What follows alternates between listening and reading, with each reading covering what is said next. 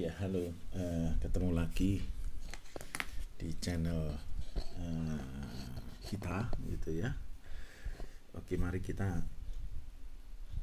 ah, saat ini kita ingin berdiskusi terkait dengan impedansi. Impedansi dilambangkan biasanya huruf Z gitu ya. Eh, jadi mungkin rekan-rekan sudah pernah eh, mengenal apa itu resistor atau tahanan induktor, kemudian ada kapasitor gitu ya. Nah, kalau resistor digambarkan yang paling umum seperti ini, ini resistor. Resistor digambarkan dengan huruf R begitu ya. Ini adalah tahanan murni gitu ya. Tahanan murni. Lalu kita juga kadang uh, melihat ada uh, induktor. Induktor biasa dilama dengan L. Nah, ini lilitan begitu ya. Jadi lilitan di mana di dalamnya dia juga ada uh, komponen real maupun imajiner. Dan yang terakhir kalau kita lihat biasanya ada kapasitor yaitu kapasitor C. Nah masing-masing ini memiliki uh, apa namanya uh, sebuah tahanan dalam begitu kalau R ya tahanan dalamnya ya R real benar-benar real. Kalau kalau L maka dia tahanan dalamnya akan menyesuaikan dengan frekuensi kerja. Biasanya digambarkan dengan C ini imajiner XL itu ya biasanya. Ini pedansi uh, apa namanya uh, impedansi uh, dari induktor Nah, kita banyak ini biasanya adalah U kalian L atau 2pi frekuensi kali L. Nah, ini adalah variabel frekuensi. Jadi kalau kita lihat induk induk kita nyebutnya sebagai induktansi Jadi kalau kita lihat dari sini, jadi frekuensi makin tinggi, maka induktansi makin tinggi. Itu, ini fungsi dari frekuensi. Sementara kalau C kita sebut kapasitans. Ini C XC. Nah, ini adalah uh, seperti ini.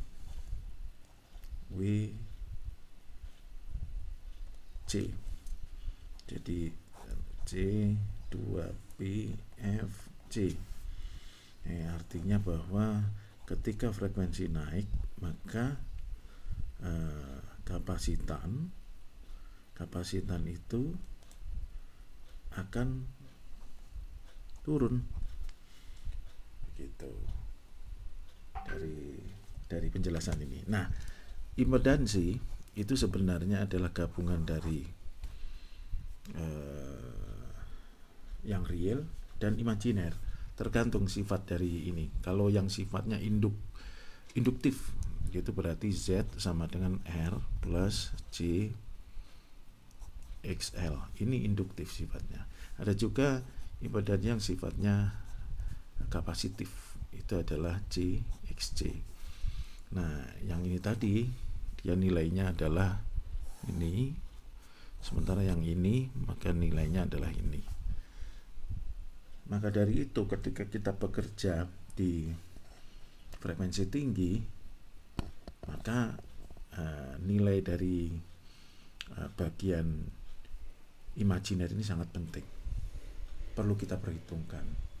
Sementara kalau kita frekuensinya rendah seperti audio audio kan kita biasanya bekerja dari 0 sampai 15 eh, kHz gitu ya. Ini pun juga belum sudah tidak bisa didengar oleh telinga. Maka boleh dibilang variabel atau uh, impedansi yang uh, imajiner itu biasanya kita abaikan. Seperti itu. Kalau kita bekerja di frekuensi mulai HF, VHF, UHF dan seterusnya, maka kita wajib memperhatikan ini sebab ini akan mempengaruhi. Baik kita uh, kembali lagi. Uh, jadi seperti ini. Jadi ketika kita tadi bekerja di frekuensi tinggi mulai dari high frequency, very high frequency, ultra high frequency bahkan SH SHF uh, apa namanya eh, sampai ke, ke atas lah EHF dan seterusnya. Maka kita wajib mem, memperhatikan uh, imajiner di sini. Porsi imajiner. Apakah dia bersifat kapasitif apa dia bersifat uh, uh, apa namanya uh, induktif? Maka dari itu kalau kita lihat di SWR meter, SWR meter digital gitu ya, uh, itu kita akan melihat di sana adalah biasanya ada tulisan Z 50 plus J misalkan 10. Ini artinya bahwa komponen realnya realnya itu 50 ohm. Tapi komponen imajiner J ini kebetulan L soalnya dia uh, positif kalau di sini minus maka dia uh, induktif ini 10 ohm gitu. Sehingga impedansi itu dihitung dengan uh, R kuadrat plus uh, X kuadrat. Jadi ya sama dengan 50 plus 10 ini. Ya dengan bantuan kalkulator sederhana sebenarnya kita bisa uh, ini ya. Jadi itu 50 ini ditambah 10 ini dapatnya berapa? 50,9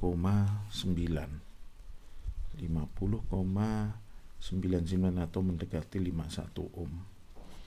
Ini masih bagus. Jadi SWR nya pasti dia akan dekat-dekat jadi SWR itu uh, boleh dibilang adalah uh, jadi di sini adalah uh, ZL line gitu ya. Injet antena gitulah misalkan gitu ya. Plus Z line dikurang Z antena. Nah sekitar ini jadi SWR itu ah gitu. Jadi kalau kita ini ada 50 plus Z antenya 51 dibagi 50 min 51 nah, ini kan gini ya boleh bu, bisa bolak balik di sini adalah 101 dibagi uh, 1 uh, sorry kok 1 50 ya uh, di apa namanya di dibagi satu. Jadi dapatnya 100 uh, satu uh, maaf ini adalah begini. Jadi nanti SWR sama dengan 1 plus rho 1 min rho ya. Di sini adalah ini dikurangi sorry ini dikurangi plus. Jadi 50 eh, adalah satu dibanding 101 begitu ya. Ini kan uh, plus. Jadi nanti di sini adalah dapatnya 1 plus 1 banding 101 1 min 1 banding 101 nah ini kalau kita selesaikan persamaan ini menjadi begini ya. Uh, satu gitu ya. Di sini adalah 102 per 101 bagi eh, 100 dibagi 101 101 nya ini hilang jadi adalah 102 banding 100 nah ini adalah 100 oke jadi SWR nya 102 mendekati 1 nah itu cara ngitungnya. Agak rumit tapi ya itu. Jadi pengetahuan kita terkait sama impedansi di sini ini akan bisa memudahkan kita mengerti apa itu uh, standing wave gitu SWR gitu ya. Itu. artinya bahwa ketika ini makin kecil ini makin kecil ini uh, bagusnya ideal adalah nol di semua frekuensi. Maka Z-nya nanti akan 50 terus maka itu SWR akan terus uh, satu begitu. Itu uh, ini. Jadi kalau kita punya antena gitu ya antena misalnya ground plane begitu ya ada ini ketika kita taruh di sini maka antena ini sebenarnya memiliki impedansi. Impedansi anten. Nah impedansi anten itu adalah ada R-nya ada J X-nya. Bisa ini kapasitansi atau induktansi. Nah ini yang bagaimana anten ini dicun, ini kumisnya dipanjang pendekin, e, ininya e, radiatornya juga dipanjang pendekin, itu dalam rangka untuk mendapatkan R mendekati saluran transmisi 50 ohm, ini mendekati 50 ohm, J mendekati 0. Ketika ini sudah dekat dengan 50, di sini 0, maka SWR sama dengan satu banding satu. Gitu mungkin uh, sekilas uh, oret-oretan kita pagi hari ini hari ini. Mudah-mudahan berguna. Terima kasih